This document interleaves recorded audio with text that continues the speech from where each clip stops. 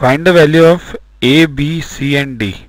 Now what are these A, B, C and D? See these are the figures given. This is figure number 1, this is figure number 2. These two are only one, two are one figure and these two are second figure. And what is A? A is a mixed fraction in this. So what is the mixed fraction in this? Mixed means 1 1 upon 2, 1 3 upon 4. This is called as mixed.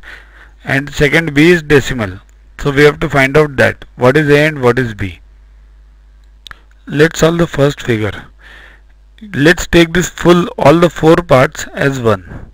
So these become 1, 2 which are shaded and remaining are blank. So these become half. So A becomes A is a mixed fraction. 1 plus 1 upon 2 1 half.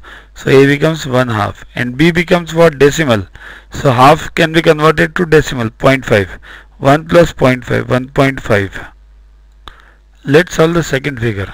There are 8 parts 1 2 3 4 5 6 7 8. Similarly 8 over here. So out of these 8 all 8, 8 are shaded. So this becomes 1. Out of these 8 how many are shaded? 6.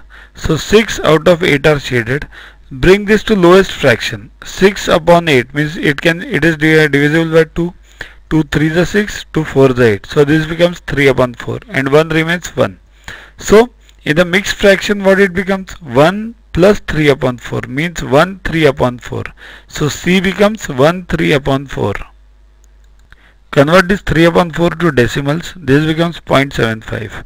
So D becomes 1.75 because D is in decimals.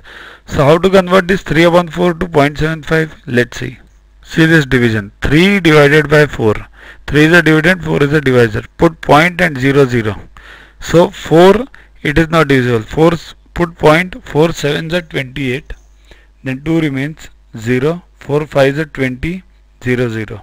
So 0.75 okay so the answers are 1 1 upon 2 1.5 then 1 3 4 3 by 4 and 1.75 check where are these options they are in A only so A is the answer if you check the remaining options they are all different because A should be 1 1 upon 2 here A is 1 3 upon 4 that is wrong.